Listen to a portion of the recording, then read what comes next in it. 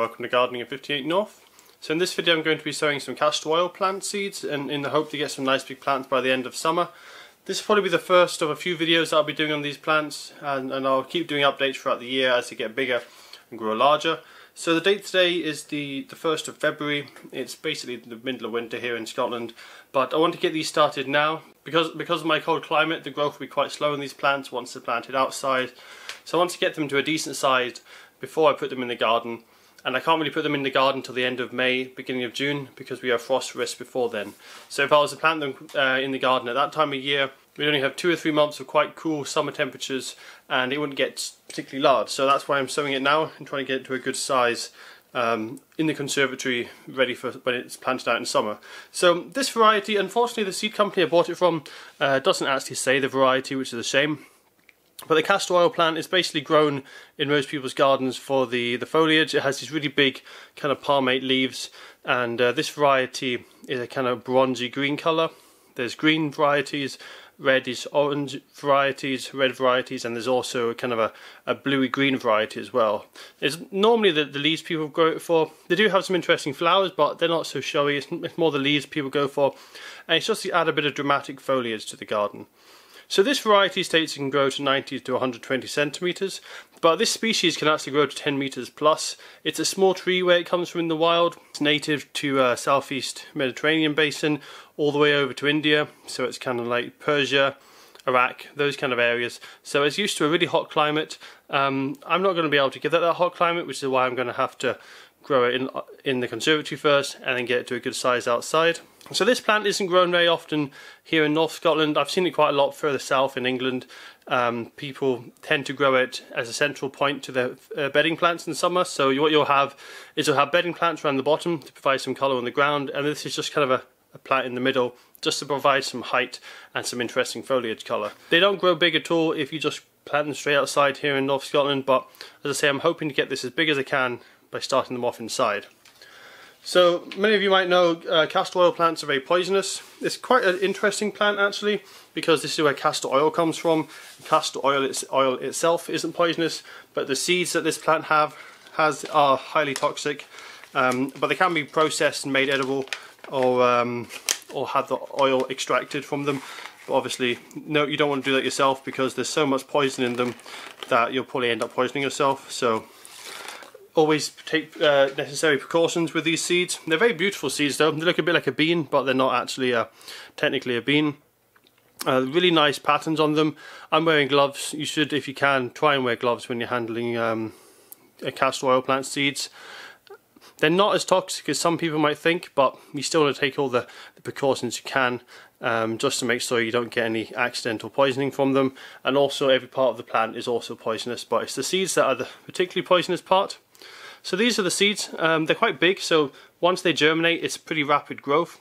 And one interesting feature of the seed is to have this little lump on the end.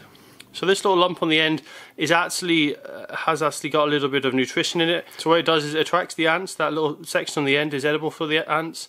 So the ants will take the seed underground, eat the edible part. Then the seed then gets planted and can start growing. And that's just one of the relationships this plant has with ants is that um, the seeds can get buried by it buried by the ants because they have that slight edible lump on the end of it. So as I say, although they grow so tall in the wild, uh, I'm not expecting mine to get particularly tall, but I'm hoping to maybe get two meters if I have a decent summer and I can get these to a good size to begin with. So I'm just going to plant these in 10.5 centimeter pots. They are big, uh, big seeds, so the seedlings are large when they come up. They'll also grow very rapidly. This is a very fast growing plant. And although it does like hot temperatures and, and it grows best in tropical conditions, it can actually tolerate cooler temperatures not too bad. So even though we're going to have colder temperatures in my summer it's not going to get uh, really sickly and unhealthy. It will just grow slower. There's some tropical plants that just won't grow in Scotland um, over the summer because the cold temperatures at night makes them really quite poorly and ill. But with this plant the cool temperatures don't bother it but it just slows down the growth a lot. So all I'm going to do is push this into the soil and that little lump at the end that's the bit I'm going to be having facing down because that's where the roots should grow from so I'm just going to gently poke them into the compost there. Now I'm going to keep these around 20 to 30 degrees uh, in a propagator to get some rapid growth. They should germinate within about two or three weeks, but I think with high temperatures I should be able to get them to germinate in one week.